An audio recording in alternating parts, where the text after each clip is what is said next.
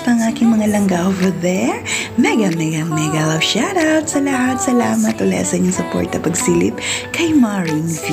Ayan, thank you ng marami mga langga.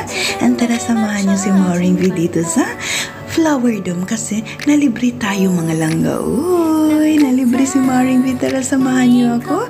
Ayan, salamat sa sister ni Amo. Ayan, namasyal kami mga langga. Uy, ayan, dito tayo sa loob ng Flower Dome nila. Ayan, magbayad lang tayo ng entrance mga langga. Ayan, susnang ko, nagtiyempohan pa naman ang daming ano, mga tao ngayon. Ayan, may mga preschooler, yung sa school, at yung mga matatandang naka-wheelchair. si Maring V. Ay, ayan. At ito mga malangga kasi Friday ngayon, 29 ng September, ang Mid-Autumn Festival din. Ayan, nag-open dito sa Flower Dome ang Wow, napakagandang mga klase-klase, iba't ibang klase around the world. Ang Chrysanthemum, mga langga. Ang dami pala nito mga langga. No? Ang daming klase pala nito mga langga. Ayan, kaya open ngayon, 29 hanggang November 13 lang. Ang Chrysanthemum Charm dito sa Flower Dome sa Marina Bay. Ayan. Magbayad lang kayo ng entrance mga langga. Walang free. Pero free ngayon si Maring B. Ayan. Mega love shoutout sa mga, mga langga ko dyan. Ayan, dito si Maring B. Ang kaganda talaga. Ang daming klase ng chrysanthemum mga langga. Ayan, hanggang November 13 lang ito mga langga. Kasi papalapit na naman ang Christmas. Kaya Christmas decor na naman ang EHA, uh, ang ano nila. Ang ipapalit nila nito mga langga. Ayan, ang ganda talaga mga langga. Sobrang ganda tapos. aircon sa loob. See, ayan, tingnan nyo mga langga. Fresh, fresh yan ha. Tutong bulaklak yan. Buhay na buhay na bulaklak yan mga langga. O, see? Ayan, aircon yan. O, akalain mo, ang guardian nila aircon mga langga. Ay, Diyos ko. So, medyo malawak din ito mga langga. Sa mga turista natin ito, yung mga main tourist spot dito sa Marina Bay, ang Flower Dome. Ayan. Ano ito mga langga? Every ano, may mga season itong nag-change gaya ngayon. Uh, focus sila sa chrysanthemum charm. Kaya hanggang November 13 lang mga langga ito. Ayan.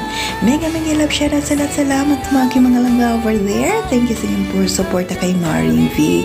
Ang kaganda talaga mga langga. Oh. Bisitahin nyo dito mga langga. Mintras na apa ang mga chrysanthemum nga napakaganda. Iba't ibang klase pala nito mga langga. Ayan. Pero hindi ako naghalungkat. Oy. Nag-video-video ako mga langga. Uh, pero nagbasa po ko saglat. Oy mga langga. Uh, basta ma-amaze ka sa kagandahan ng chrysanthemum mga langga. Ang gaganda la talaga. Ayan. Mega mega love shoutout sa lahat ng mga bumisita sa Singapore. Habulin mo ang chrysanthemum na andyan pa sa Flower Dome mga langga. Ayan. Mega mega love shoutout. Salamat ulit mga langga. Ayan. Dito lang na libre si Marimbi. na libre si Marimbi. Sarap talaga pag libre mga langga. Oh, see, libre ng kain, libre sa entrance fee, o oh, ano pa, lakad-lakad na lang tayo mga langga. Yung effort na lang natin. Ayan, salamat sa treat talaga today.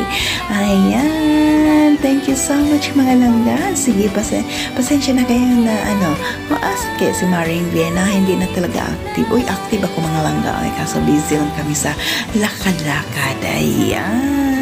So, ang kaganda talaga dito mga langga, isa sa mga tourist spot. Kaya puntahan nyo ang Flower Dome sa Marina Bay. Ayan.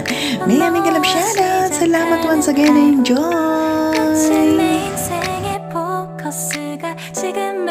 맞춰진 걸까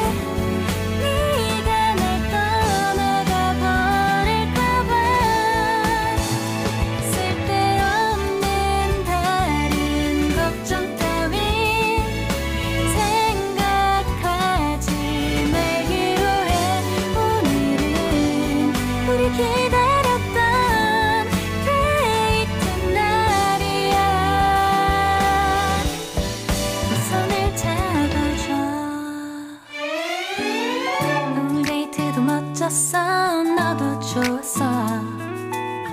내일은 또 어떤 곳을 너와 함께 가볼까? 너와 함께 먹고 싶었던 명동 길거리